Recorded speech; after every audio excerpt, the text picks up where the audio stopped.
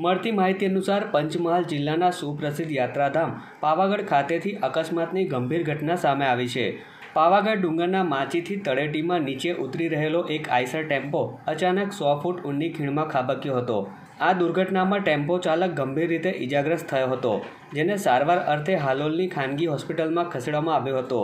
જો કે ટેમ્પો ચાલક મહેસાણાથી શ્રી મહાકાળી મંદિર ખાતે ઘીનો જથ્થો ઉતારવા માટે આવ્યો હતો, ત્યારે મંદિરમાં ઘી ખાલી કરીને પરત ફરતા આઈસર ટેમ્પોની વળાંક ઉપર બ્રેક ન લાગતા ટેમ્પો ખીણમાં પડ્યો હતો.